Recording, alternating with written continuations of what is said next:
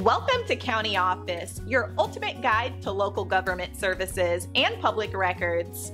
Let's get started. What is the role of the Volusia County Property Appraiser? The Volusia County Property Appraiser plays a crucial role in the local government, primarily focused on the fair and equitable assessment of property values. The property appraiser is responsible for discovering, listing, and valuing all real and tangible personal property within Volusia County. This process is conducted in accordance with Florida statutes and the Florida Department of Revenue's regulations. One of the key tasks is to determine the market value or null just value null of properties. This value is defined as the typical price a willing buyer would pay a willing seller without either party being under undue duress. The appraisal date for this valuation is January 1st of each year. The Property Appraiser's Office uses a computer assisted mass appraisal system to manage and analyze property data.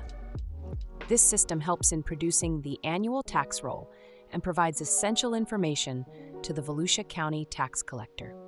The county is divided into over 2,900 neighborhoods, each with similar value influencing characteristics to ensure homogeneous valuations.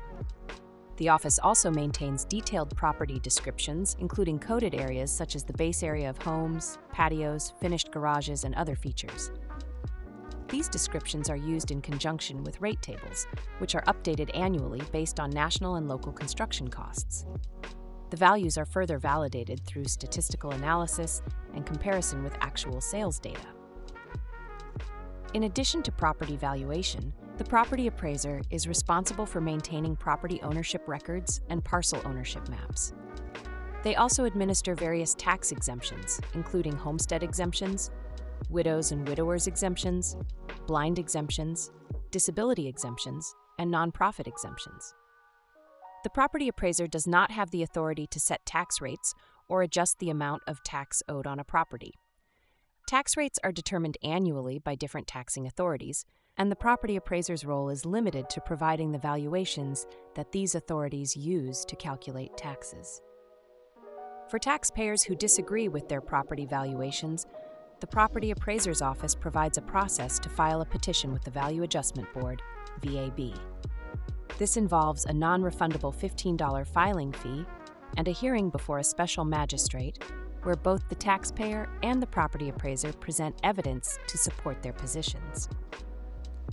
The Volusia County Property Appraiser operates independently of the Board of County Commissioners and is overseen by the Florida Department of Revenue, which conducts biennial audits to ensure the integrity of valuations.